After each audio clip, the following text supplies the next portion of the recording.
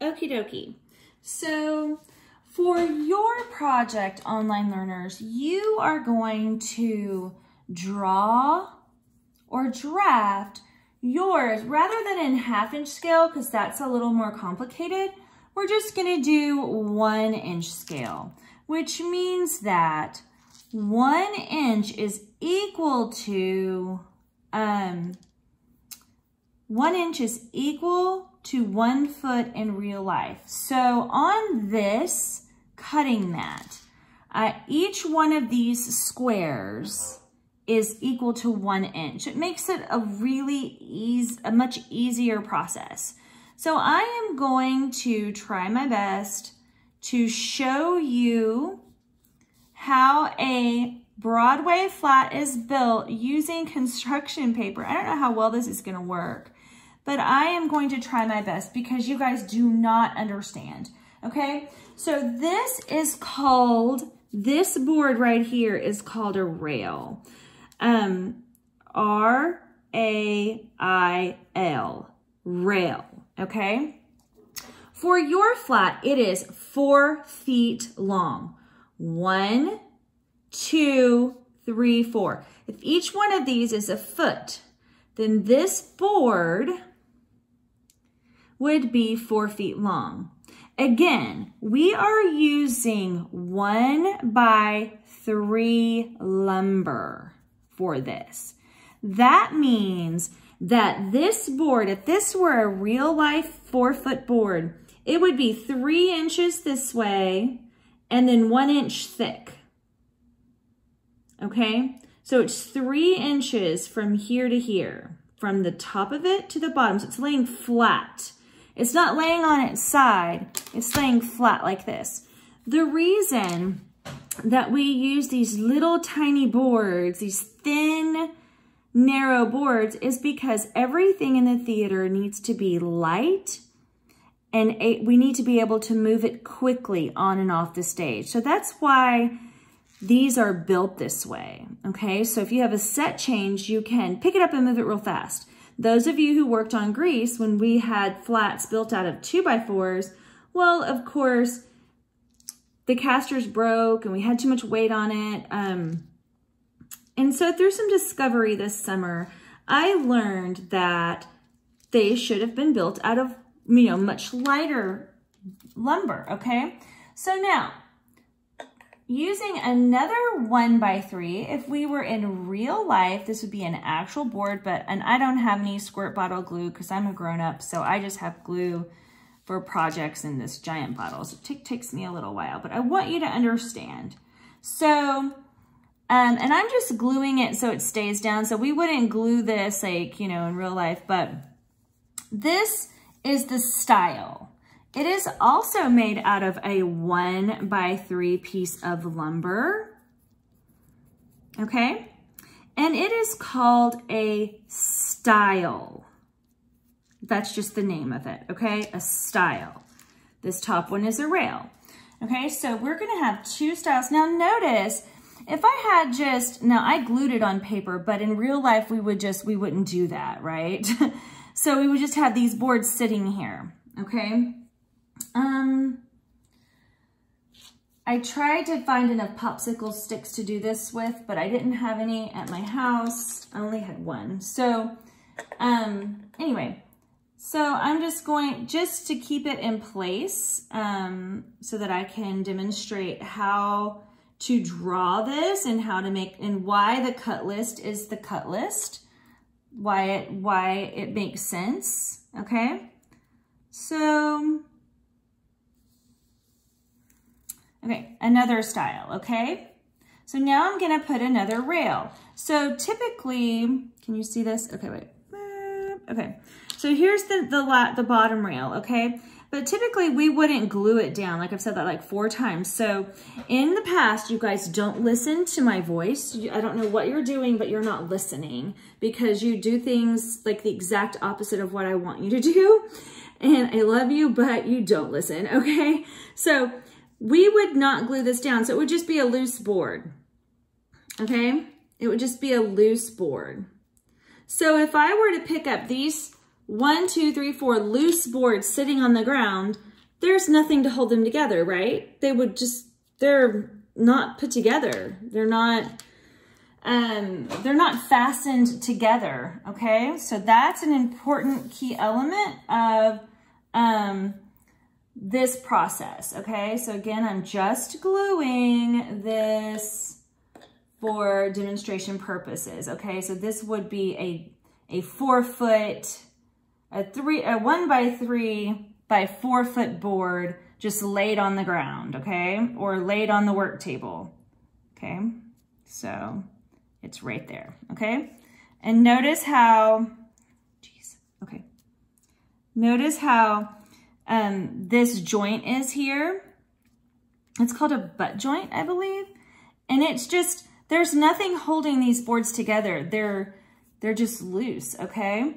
So that's why we would take this corner block, okay?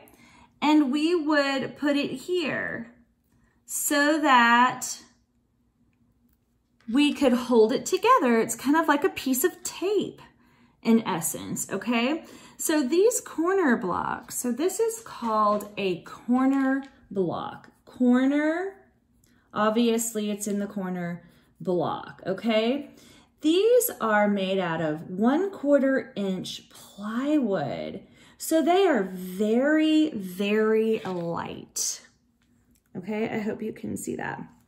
So one quarter inch plywood. So you can't just look at the picture. You have to listen to my voice. One quarter inch plywood corner block. This is a corner block, okay? So the way that we attach that, kiddos, is literally with wood glue and um, staples. So we use the um, the pneumatic the, the pneumatic stapler, um, and there's long, thin staples that are made for fastening wood together and furniture and such. Um, and so the glue is really what holds it together, but um, we put the staples to hold it while the glue dries. Okie dokie.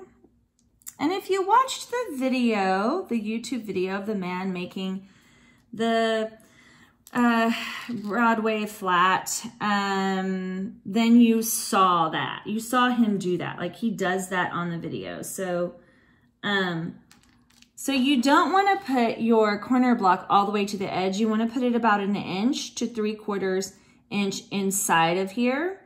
So I've left some room there, okay?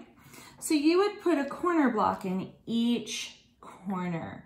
So on your cut list, you don't need to worry about putting the instructions of using plywood or staples or glue or any of that.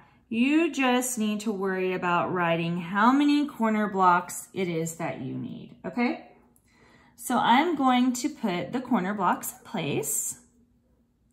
So now, if I lift this apparatus, this rectangle made out of these little thin boards, up off the floor after I put my last corner block in place.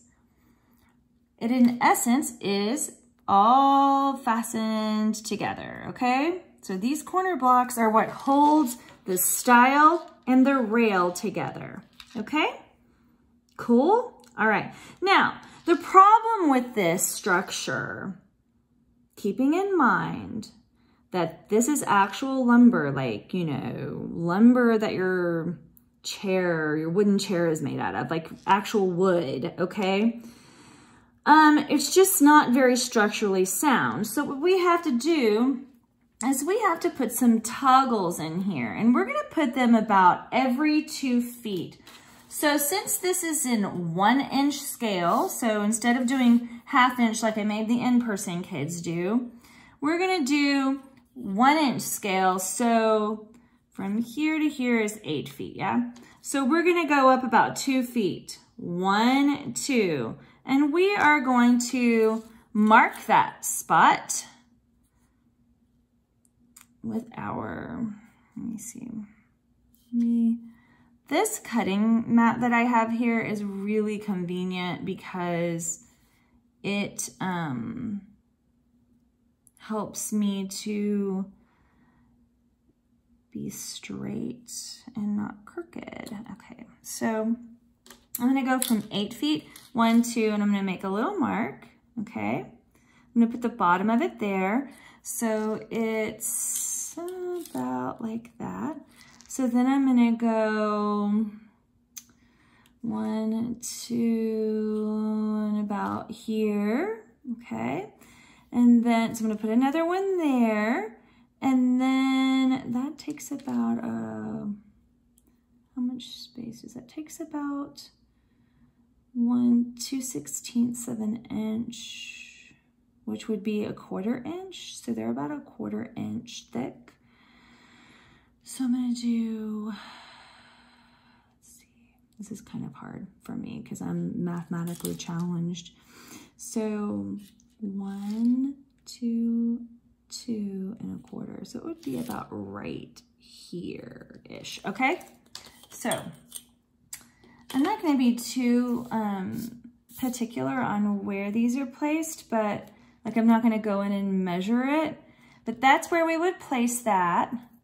And that's where we, and this is just for structure. Now, I'm not gluing these down just so that you can kind of see because they're not all curled up like the other ones were pieces of paper.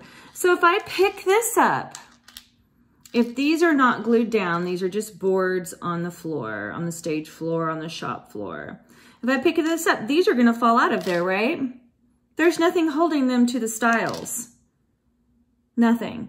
So what we have to do is we have to take these little rectangular pieces that are made out of, again, quarter inch plywood. And the reason they're made out of such thin, thin plywood is so that they remain light, okay? Now let me see. Okay, so that is called a keystone. So this time I didn't glue this down just to show you how it would be, um, how that works. Okay, so we would put wood glue on the back of this and we're going to do that in class. And then we would use the, the air-powered electric pneumatic stapler, power stapler, um, uh, to staple those in place. So those are called keystones. These are called key, K-E-Y, S, T-O-N-E-S, keystones. And those are made out of one quarter inch plywood. Okay, cool. All right, let's see if you can see that. Okay, all right. Um, now, I am going to add the rest of my keystones on the remaining toggles. Oh, I forgot to tell you. This pink thing is called a toggle. It's called a toggle. They're called toggles. You toggle things together. So don't you guys use toggles like on your electronics and whatever? You have to toggle it I don't know, if it doesn't fit together appropriately, then you have to get a toggle. Is that, am I right about that? So this is kind of the same idea. So we're toggling it to the stile because it's not fastened on there. See, it's not fastened. So we've got to fasten it with a keystone. So um, we're going to toggle it together with this these toggles to this. So it's like an adapter almost. Yeah, maybe? No, not really. I'm just trying to relate to you right now because I really want you to understand this. And I really, really don't want to give you chapters in a book to read because that might not be the coolest tech theater class on earth, okay? And honestly, tech theater is so much more fun in person, okay? Um, so there we go. And let's see, one more, uno más, uno más. I am going to, so if I had, if I had this eight, four foot by eight foot um, thing, the Broadway flat made out of one by three lumber, I would be stapling, gluing and stapling these toggles on there. And I would glue and staple these corner blocks, yes? Okay. So, um, toggle,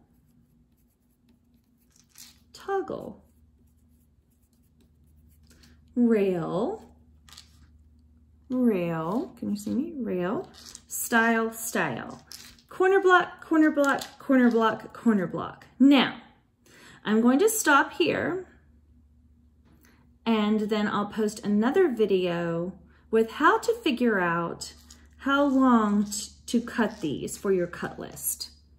Bye-bye.